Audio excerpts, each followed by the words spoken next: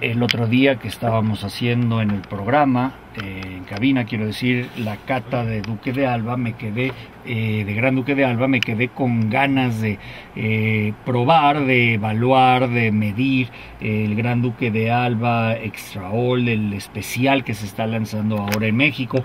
Es el de etiqueta azul, es un brandy muy especial de eh, la zona eh, del sur de España, donde se producen muchos de los brandis, los jereces, y eh, justo platicaba yo con Paola Medina, Medina Sheldon, que quien es la enóloga de la bodega, y ayer que y cuando fui a la cena que ofrecieron en el Jaso y que comentamos ese día, pues no me quedó más que eh, volver a repetir la invitación para que ahora sí te voy a dar tiempo, Paula, de bailar.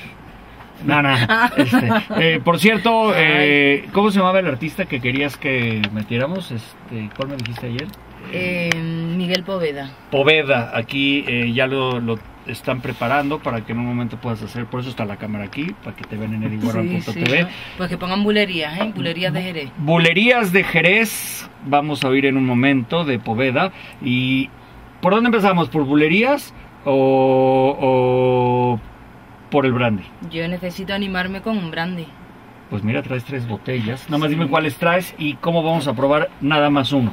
Pues tenemos Gran Duque de Alba, que lo catamos el lunes pasado tenemos Gran Duque de Alba XO, que es el lanzamiento que realizamos ayer, y Gran Duque de Alba Oro, que es pues nuestra joya. Lo que pasa es que hoy nos vamos a centrar en el Gran Duque de Alba XO. Bueno, el Gran Duque de Alba XO es el fruto de una selección de brandis de Gran Duque de Alba y Gran Duque de Alba Oro. El sistema que tenemos en Jerez es de soleras y de criaderas. Pues nosotros hemos cogido botas seleccionadas de Gran Duque de Alba y Gran Duque de Alba Oro. Con este sistema de soleras y criaderas, lo que hemos hecho es, aparte de seleccionar ese brandy, envejecerlo en botas que previamente han sido envinadas con Pedro Jiménez. Y el resultado que hemos tenido es este brandy XO, Gran Duque de Alba, que tiene una vejez media de unos 15 años que para nosotros la verdad es que es muy especial y la aceptación de momento está siendo bastante positiva. ¿Cuánto tanto más dulce y más explosivo en el aroma eh, es este eh, Gran Duque de Alba azul, azul en su etiqueta, que el anterior? Pues la, la principal diferencia es el Pedro Jiménez, que bañaba esas botas. Si en el Gran Duque de Alba tenemos una gama de frutos secos, de cáscara de almendras, de vainillas, en este caso se complica más la cosa. O sea, tenemos una paleta de aromas eh, muy amplia, porque aquí se redondea, aparte de con otros frutos, o sea, con ciruelas, los duraznos, ¿no? Que tenéis aquí, regalices, tofes, caramelos, al mismo tiempo en boca, si queréis lo probamos, también se aprecian. ¿Lo probamos y nos lo acabamos o nada más lo probamos? Pues yo primero un poquito para, para saber qué es lo que vamos a encontrar. Para humedecer labios, a ver.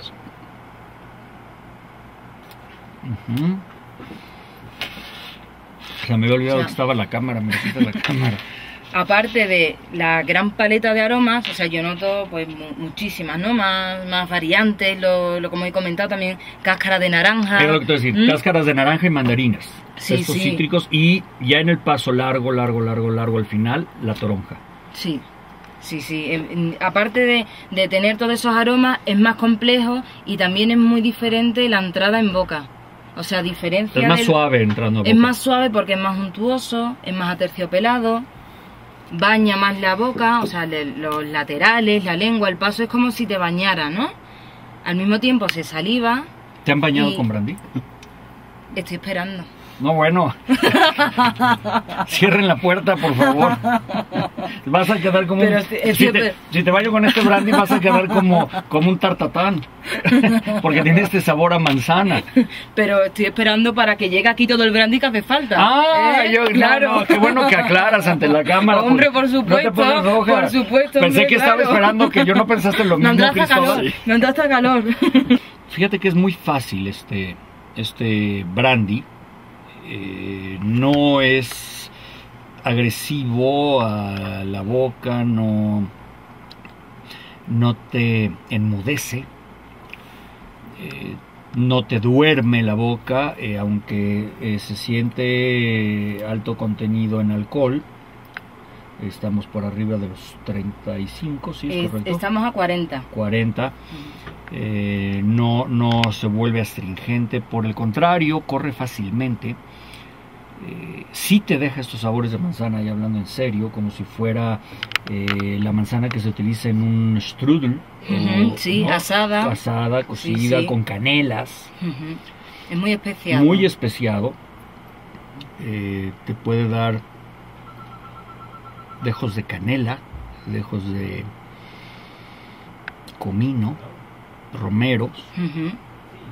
Ese impregnado de, de todos los especiados también que, que aporta también la madera. O sea, todo esto no es eh, solo la materia prima, o sea, las holandas, el, el duque de Alba, el Pedro Jiménez. También hay un aporte de madera y de envejecimiento que es el responsable de toda esa complejidad de los especiados. Eh, y antes de que se nos olvide eh, la música, ¿cómo dijimos su nombre? Miguel Poveda, eh, se llama Tras Bambalinas, ¿no? De Jerez. Sudando, con calores. Ay, Dios mío, no pasa nada. Pero si estás al nerviosa y ya se me está levantando. Ahí va, ahí va. Vámonos. Ay, que te escucho. Venga, Pau. Duele a mí me duele, ay cómo me duele. Y la boquita de decirte, gitana si tú me quieres. Quita de decirte,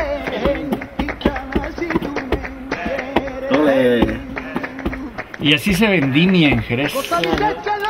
Ponen la música en la mañana, yo creo, ¿no? Me lo imagino, o, o ya en la noche, al atardecer.